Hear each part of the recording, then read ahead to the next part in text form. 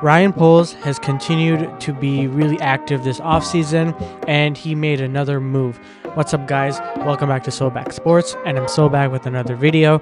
And today I want to talk about the new signing of Kevin Byard to the Chicago Bears. And his contract details are two year, $15 million contract. But before we get into today's video, please don't forget to like and subscribe. And it really helps me out a lot. And it really helps me create content like this for you guys. So please subscribe you know, obviously Ryan Poles is trying to fill that position of free safety, given that Eddie Jackson is no longer a part of the team.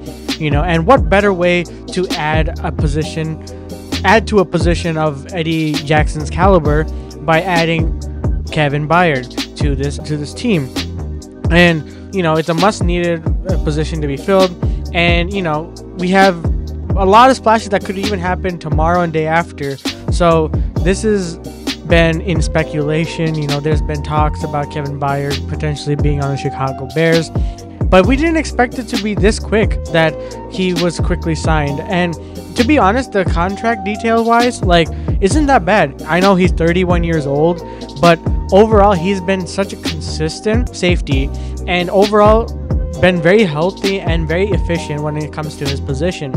Last year, he wasn't necessarily in the best spot. He, given that he was traded in the middle of the season to the Philadelphia Eagles, and the Eagles had a lot of disputes and like quarrels when it came to the defensive coordinator position. You know, with Sean Desai, then moving off of Sean Desai and going to Matt Patricia, which I still don't understand why they even did that in the first place because you know Matt Patricia is garbage. So that's a whole different story story in, its, in of itself and you know you you can't really say anything because Philly just screwed themselves over.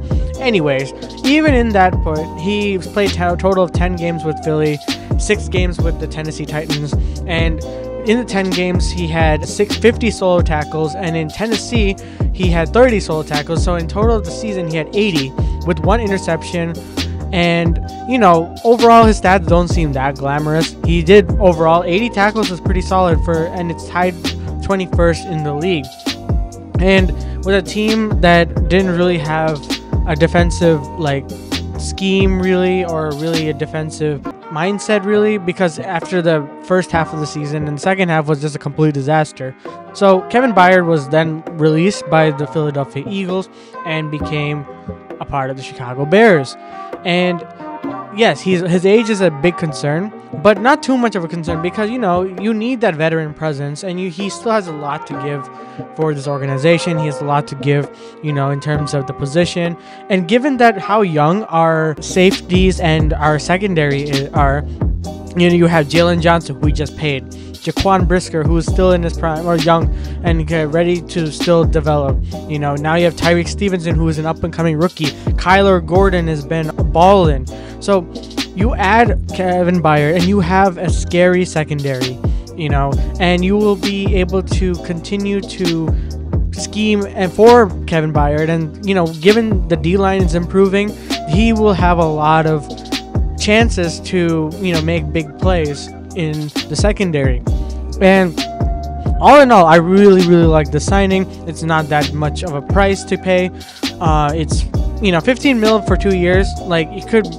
It's honestly we have the cap space for it, so I don't see why we couldn't have done that. So yeah, that's really about it. Like to be fair, it, I really like the signing a lot. I think that he's gonna be really good for us. And let me know what you guys think down in the comments below. What are your reactions? Do you like it? Do you hate it? Let me know down in the comments below. I would love to hear what you guys have to say. And, you know, tune in for more. Subscribe down below for because I'm going to be covering a lot of the future draft and even free agency news that are coming out. I'm a little bit behind, but I'm going to try my best to get to a lot of the stuff. But as always, I'll see you guys in the next one.